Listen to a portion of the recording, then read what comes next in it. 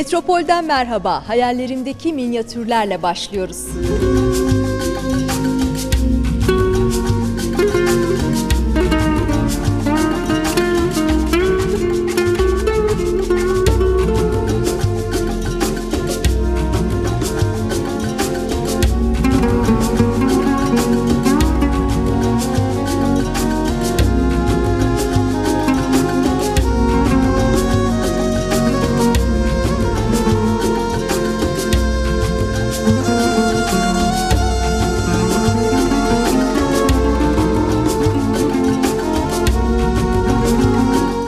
Minyatür sanatçısı Taner Alakuş, Hayallerimdeki Minyatürler isimli sergisiyle sanatseverlerle buluşuyor.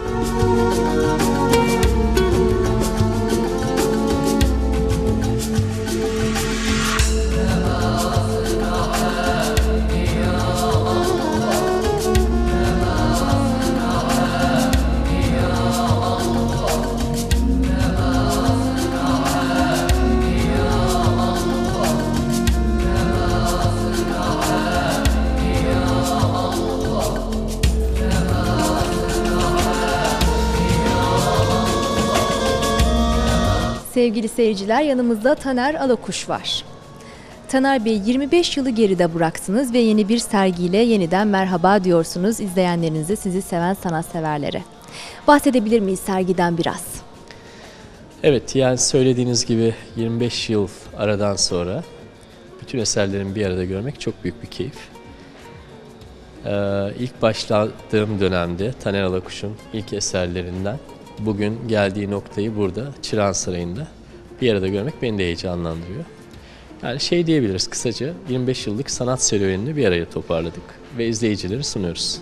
İlk başlangıcından günümüze geldiğinizde şöyle bir baktığınızda sanatınızda neler değişti? Evet şöyle yukarıdan resme baktığımda e, kullandığım taramalardan, renklerden her şeyin değiştiğini görüyorum.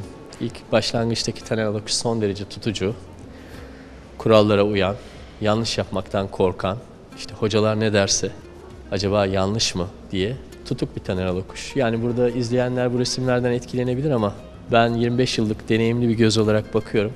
Önceki resimlere ve bugünkü resimlere şimdi esas bu dönemde zevk aldığım resimleri yaptığıma inanıyorum.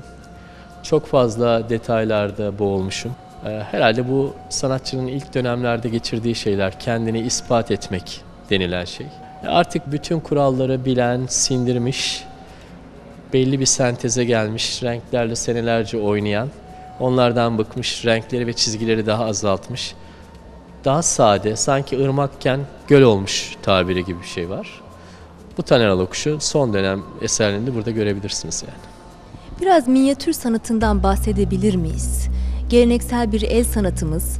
İzleyenlerimiz genelde geleneksel el sanatlarına biraz daha uzak kalıyorlar. Tam olarak bilinmeyebiliyor. Maalesef eee, ben şöyle değerlendiriyorum. Türkiye'de doğmuş ama Türk mutfağı yememiş insanlar olarak nitelendiriyorum bu grubu. Eee, Çünkü eee, ben bile yaklaşık bundan 15-20 yıl önce üniversiteye girdiğimde geleneksel Türkel sanatları bölümünü kazandığımda acaba bu sadece bayanların gittiği bir el sanatları, halı kilim gibi bir kurs muydu diye düşündüm ve cehaletimden utandım. Ve bu bir 10 yılda insanlara bu sanatı anlatmakla geçti işim. Herkes sen mezun olacak olunca ne olacaksın sorusunu sordu. Anlatamıyordum yani insanlar nasıl böyle 600-700 yıllık bir kültürle yoğrulurlar fakat kültürlerini bilmezler. Bu şöyle adlandırıyorum. Bakmak ve görmemek gibi bir şey. Herhalde e, bunun farkında değiliz. Ama şükür ki şu durumda öyle bir şey yok. Yani çok fazla kullanılan bir deyim ama hoşuma gitmiyor. İşte kaybolan sanatlar böyle bir şey yok. Bizim sanatlarımız hiçbir zaman kaybolmadı. Sadece farkına varmadık.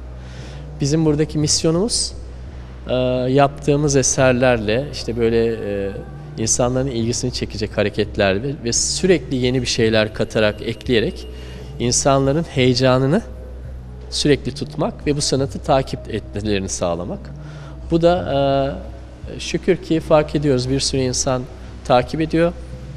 E, her sergide diyorlar ki mesela aynı eser ikinci sergide koyduğumuzda e, bu daha önceki sergide vardı diyorlar. Demek ki insanlar artık e, görmeye öğrenmişler. Bu güzel bir duygu. Ee, Şu 5 yıllık süreçte bile bence inanılmaz bir ivmeyle minyatür sanatı gelişmekte. Biraz minyatürün modernleştirilmesinden bahsedebilir miyiz? Hangi aşamalardan geçti? Ben kendi adıma konuşabilirim. Yani ben genelde Türkiye'deki minyatür sanatının gelişimi ya da modernleşmesi hakkında konuşamam. Çünkü herkesin kendine has bir bakışı ve tarzı vardır. Ben size demin anlattığım gibi benim e, sanat geçmişimdeki ilk dönemki Taner Alakuş'un ne kadar tutucu olduğundan bahsettim. Aynı bir ülkenin modernleşmesi gibi sanatçı da hep aynı şeyleri yaptığı sürece belli bir süre sonra tekrardan sıkılıyor. Bu sanatçı olmanın getirdiği bir şeydir. Tekrarı sadece sanatçı olmayanları sıkmaz. Onlara biz sanatçı demeyiz, zanaatçı denir, deriz zaten. Bu dönem dönem siz de artık belli bir olgunluğa ve doygunluğa eriştikten sonra arayışlar içerisine giriyorsunuz. Bunlar farklı materyaller de olabilir, boyalar da olabilir. Ve böylece sanatınız sizinle beraber zaten gelişiyor, büyüyor ve doygunluğa uğraşıyor.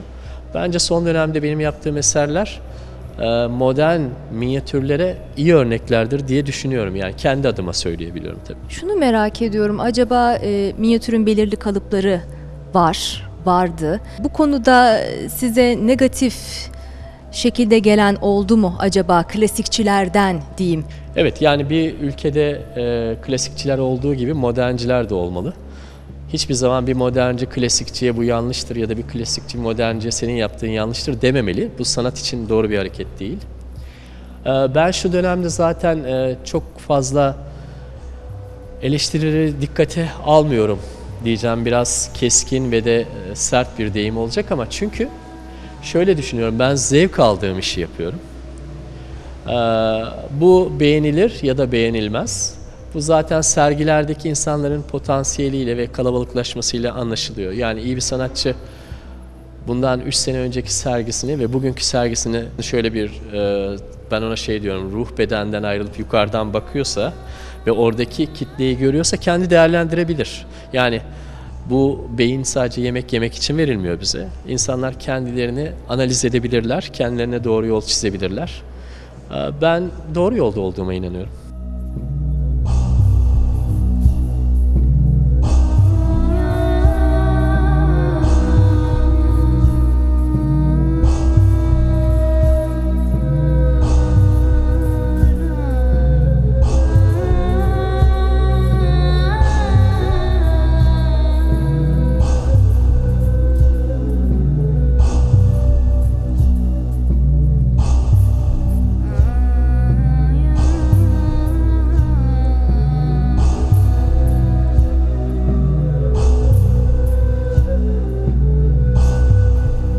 Hayallerimdeki minyatürler 22 Ekim'e kadar Çırağan Sarayı Kempinski Sanat Galerisi'nde.